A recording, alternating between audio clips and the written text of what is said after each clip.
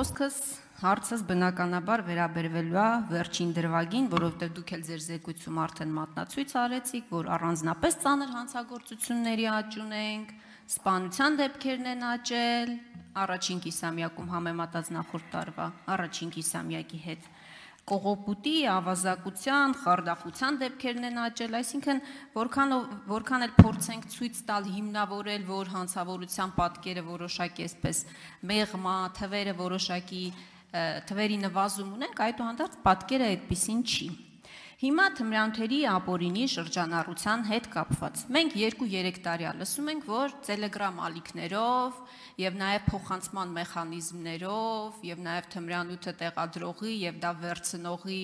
միջև ֆիզիկական կապի բացակայության պատճառով եւ այլն այդ հանցավորության սխեմաները դժվար է բացահայտել։ Բայց այս 2-3 տարիների ընթացքում մենք չենք տեսնում արմատական ռադիկալ փոփոխություններ եւ քայլեր եւ ռազմավարություն եւ քաղաքականություն այդ ամեն ինչի դեմ պայքարելու համար։ Մենք ունենք թղթի վրա ռազմավարություն, իդեպ խնդրում եմ ասել նաև այդ ռազմավարությունը արդեն հաստատված է շրջանառության մեջ է դրված, թե դրված չի, բայց մենք չունենք, նորից եմ ասում, արմատական քայլեր ու փոփոխություններ։ Ինչու է այս պատկերը, ինչ եք պատրաստվում անել, շատ հստակ խնդրում եմ ընդգծեք, որովհետև այդ հիմնավորումները կարող են այո բերել, որ չենք կարողանում բացահայտել այդ Telegram ալիքի տերերին, չգիտեմ, թմրանյութը տեղադրողներին, վերցնողներին եւ այլն եւ այլն։ Ինչու է պատկերը այսպեսին։ Սրանից բխող մի հարց Ուրբաթ օրը պետայրավական հանձնաժողովում քննարկվելու է իմ կողմից ներկայացրած օրենսդրական նախաձեռնությունը, որով առաջարկում է իրավապահ ուժային բլոկի ներկայացուցիչներին, ծառայողներին, ոստիկաններին, դատախազներին, քննիչներին, որ վերջիններս տարեկան երկու անգամ պատահականության սկզբունքով թմրանյութի թեստ հանձնեն եւ կառավարությունը բացասական պատասխան է տվել օրենսդրական այդ նախաձեռնությանը ես հատկապես ոստիկանության մասով եմ ուզում իմանալ ինչպիսին է եղել ձեր դիրքորոշումը դրա հետ կապված ինչու շատ པարզ պատկերավոր մի օրինակ եմ ուզում բերել ինչու բարեկը որը կանգնեցնում է մեր քաղաքացուն տեսնելու համար թե արդյոք ալկոհոլ օգտագործել է, թե չի օգտագործել, տարեկան լավ երկու անգամ չէ, բայց գոնե մեկ անգամ չպետք է հանձնի թմրանյութի թեստ կամ այն ոստիկաններ ավարտում եմ, կամ այն ոստիկանները, որոնք օրինակ ծառայություն են իրականացնում դպրոցների մերձակա տարածքներում, որովհետև կա նաև այդպիսի վիճակագրություն, որ թմրանյութ օգտագործող մարդը հակված է նաև ներգրավել այլ անձանց։ Ոստիկանները այն մարդիկ են, որ, որոնք ամենաշատն են շփվում մեր քաղաքացիների հետ հետ։ Ինչի իրանք չպետք է հանձնեն այդ թեստերը եւ շատ կարճ բան քոջան ներողություն եմ խնդրում։ Դուք ասացիք, որ մենք մեղրի անցակետում խնդիրներ ունենք, որովհետեւ ոստիկանության վերահսկողությունը սահմանափակ է այնտեղ հունվարից հայ-իրանական սահմանին որոշակի վերահսկողության փոփոխություն է տեղի ունենալու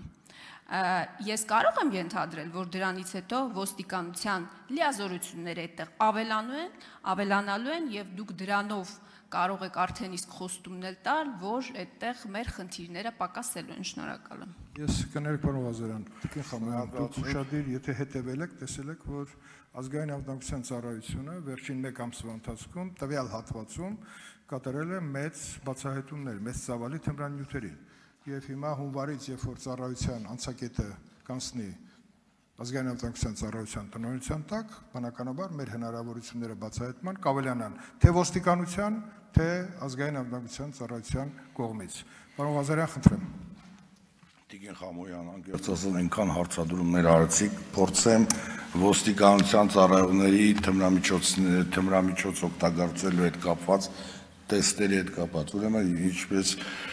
չգիտեմ, դուք երևի տեղյակ չեք, Հիմա մենք սկսել ենք ատեստացիաները ոստիկանության ծառայողների կողմից եւ ցանկացած ոստիկան միջև ատեստացիա անցնելը պարտավոր պայման, պարտադիր պայմանա անցնի թմրամիջոցների օգտագործման հետ կապված տեստը եւ ունենք մենք արդեն դեպքեր, պարոն Մարտիրոսյան, քանի դեպք ունենք 47 դեպք ունենք, որ թմրամիջոց օգտագործելու պատճառով մենք հեռացել ենք համակարգից ընդհանուր 47 ոստիկանության ծառայող։ Ինչ վերաբերվում է թմրամիջոցների ապօրինի շրջառության հետ կապված, ես Իհարկե, բոլորիս համար դա մտահոգիչ է, բայց նորից եմ կնկնում, չէ, նաև չէ որ դա ոստիկանության արդյունավետ աշխատանքն է։ Իրոք բարեկային ծառայության կողմից հազարից ավելի թմրամիջոցի հայտնաբերում դա իրոք մեծ ցուցանիշ է։ Ես որպես ոստիկանության նախկին աշխատող, նախկինում համեմատելով ճանապարհային ոստիկանության ծառայողների, ես միանշան կարող եմ ասել, որ բարեկային ծառայության կողմից դա բավականին մեծ աշխատանք է եւ դրական են գնահատում նման արդյունավետ աշխատանքը։ Իսկ նաև ուզում եմ շեշտել, նաև մեծ բավական աշխատանք է կատարում դրա հետ կապված նաև մարզային ստորաբաժանումները, քրեական ոստիկանության գլխավոր վարչությունը, ինչպես գիտենք, մենք արդեն ունենք ձևավորված համացանցի միջոցով թմրամիջոցների ապօրինի շրջանառության դեմ պայքարի բաժին եւ մենք անցած տարի բացահայտեցինք բավականին շատ հետաքրքիր հանցագործության դեպք, եթե չեմ սխալվում, ընդ մոտ 40 հոգի մեղադրանք առաջադրված անձ ունենք։ Ունենք օպերատիվ տեղեկություններ, համագործակցում ենք քնչական կոմիտեի հետ եւ մոտ ժամանակներս կունենանք նույնպես բացահայտումներ, հատկապես համացանցի միջոցով թմրամիջոցների ապօրինի շրջանառության գործով։